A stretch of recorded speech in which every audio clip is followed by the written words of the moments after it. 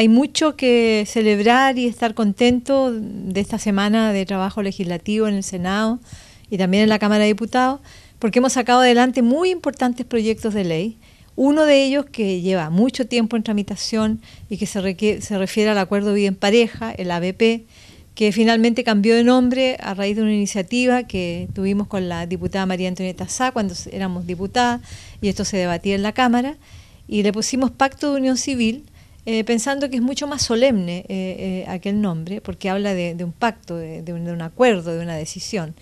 Y en ese sentido es que se cambió y hoy día se llama Pacto de Unión Civil, que por cierto viene a entregar un reconocimiento que debería ser hecho ya hace muchos años a las parejas que deciden vivir no bajo el matrimonio, parejas heterosexuales o del mismo sexo que eh, se quieren, que tienen un vínculo de amor y de decisión de bien conjunto, hoy día a través de esta ley les vamos a entregar como país, como Estado, un reconocimiento, eh, además de eso todo un sistema jurídico que viene a regular, a normar estas convivencias. Ahora ellos,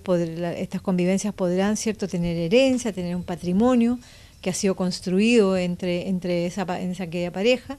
va a permanecer en, en radicada en, en, el heredero o la heredera y por cierto que va a venir a entregar eh, un reconocimiento que las familias en nuestro país son diversas. Las familias son diversas, no es solamente la familia tradicional, ¿cierto? constituida por el marido, por, eh, por, la esposa, por los hijos. Hoy día una familia puede ser perfectamente un abuelo con sus nietos, eh, una mujer sola con sus hijos, eh, parejas que son del mismo sexo o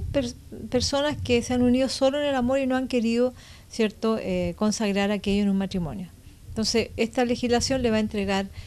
reconocimiento civil y además de eso, toda una normativa jurídica que viene a proteger este tipo de vínculos.